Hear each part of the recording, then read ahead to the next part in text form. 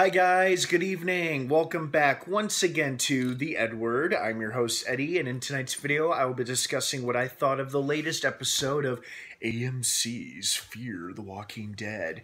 I just got done watching the second episode. Oh, it's got me hooked. It's got me intrigued. I'm excited and I'm going to talk about it for too long and too uh, too much. So before I keep going, of course, please be warned. As with all my episode review videos, this is going to be a spoiler-filled episode review. Again, if you're not caught up on Fear the Walking Dead by this episode or by the last episode, which was the season premiere, do not keep watching or listening, as I will be going and discussing spoilers. So you have been warned. That being said so, great, solid episode. We've got a new established uh, story and a new threat, and then uh, some interesting tidbits thrown in here and there.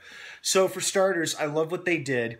They immediately explained through dialogue just how long of a time jump it has been between now and the season three finale last year. To remember, to just give you guys a quick recap, the season three finale is when Nick blew up the dam, saving his family in the process, but also just flooding the whole area. And we were left not knowing, with the exception of Madison, we were left not knowing the fate of all of our characters. Uh, but clearly, they all found each other, and everybody's alive and well. Well, they're alive. I don't know if they're going to be well for too long. And uh, I guess it has been about a year since they have established and have been living in this baseball diamond and they've turned it into a pretty cool little farming community, kind of like what Rick and his group did back in season four of uh, The Walking Dead. You know, it looks like uh, the showrunners uh, took a page out of that uh, out of that show. They took one of the best seasons and applied it to uh, this uh, to this show, and I like that. I think that's pretty cool. I, it's an interesting concept too, taking shelter at a big a sports arena or stadium because that actually makes a lot of sense. Like it's surrounded in all directions and uh, walled off, and you can see everything coming from every direction. And uh, lots and lots of space for people to occupy, and lots of space to grow food and keep animals. So, good choice, good choice. Um, and then what else was interesting is that they did this before and now thing where I think the black and white the black and white stuff like was like we like what we had with the season premiere last week and at the end of this episode we are seeing the present. So this is the present. That's why morgan was able to leave virginia and find himself uh, in texas. Not necessarily so soon but my point is is that the, the timelines may not be necessarily synchronized. They may, may not be on the exact same timeline here. And I think that's kind of cool because we don't know how much time has passed between what was happening when the episode was in color and when it was happening when it was black and white.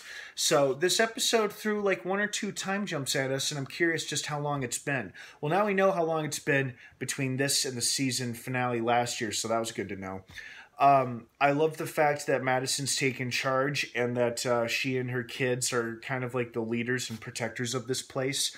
They seem to have a pretty good, solid community so far. I love seeing my man Strand. I like seeing Strand in action, providing his uh, smart ass remarks and uh, trying to avoid uh, the one guard who's hitting on him. That's pretty funny.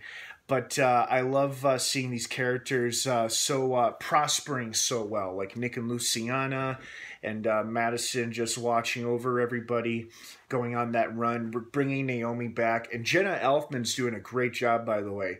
You know, I was thinking the last thing I would have seen her in was a comedy back on either ABC or CBS. It was called Accidentally on Purpose, and that was almost. Oof, well, I mean, I'm sure she's done stuff since then, but that was almost 10, 9 years ago. That was the last thing I at least saw her in. And uh, it's interesting to see her in a more serious, dramatic role in a more serious show. And uh, I like it. I think she's an interesting new character, and hopefully she'll prove to be more of an ally. And uh, speaking of allies, I uh, was very shocked with that little Charlie twist they did. Because when the guy Mel starts to talk about Nick and the Weevils, I'm like, oh, okay, he overheard and listened to their radio communication because Nick uh, told, revealed all that stuff to Madison and Alicia over the radio. Oh, the turnips have got weevils. We need to destroy the crop or something. So I'm like, oh, okay, this guy overheard that radio conversation. Nope they had themselves a little spy planted right there in the stadium. and uh, I don't know if uh, I don't think he's her dad or anything, and I don't know if she's there with these guys willingly or if they're threatening her, but you know, she didn't seem too scared of him when she went out back to them, and uh, he confirmed all the information she had provided to Madison. And uh, ugh, guys just gave me the creeps. I just wanted to sock him in the face for acting so smug, like he was going to come out on top. But Madison stood her ground, and that's why we love her. That's why we love her.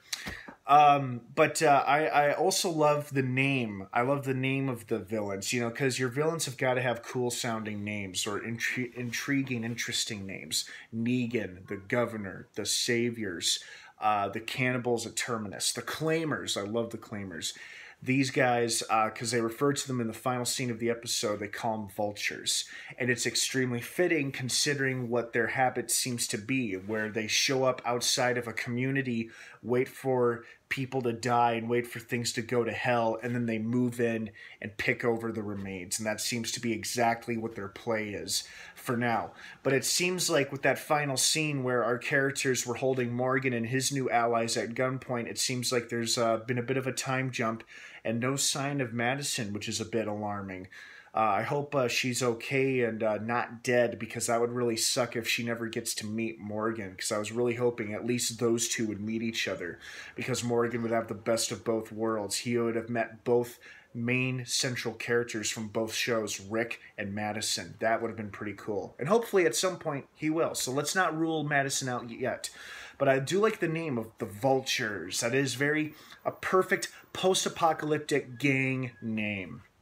And uh, you know, I wonder if uh, they were indeed responsible for that little tent area, what happened at the oil tanks, and what exactly is the game or the gain, I should say, of planting flags and different mile markers. Like that was another mystery solved, sort of, but they didn't really explain why they did it. I'm I'm just I'm not sure, but I'm sure we'll get more answers. Overall, great episode. It has got me really excited for the rest of the season. And another thing that I really loved about it is that as I saw in the opening credits, it was written by the two new showrunners, uh, Goldberg and Chambliss, I believe their names are. They are the two new showrunners. They're the two top dogs. I believe uh, Scott M. Gimple uh, appointed or picked them himself and uh, they're overseeing the show now this season starting with this season and so far so good. They're doing a great job as is everybody so keep it up guys. This was a fun episode and it had plenty of gory, cool Walker kill moments, uh, interesting new characters and new developments, and a few twists here and there, and a couple of potential time jumps. And I'm excited to see what the next episode brings us. All right, guys, what did you think of this episode? Did you like it? Did you love it? Did you hate it? Please leave your thoughts, opinions, and your feedback down below in the comments section. I'd love to hear from everybody. Thank you so much for watching. I hope you're enjoying this season of Fear the Walking Dead as much as I am. And uh, please be sure to subscribe for more episode reviews and future content from this channel.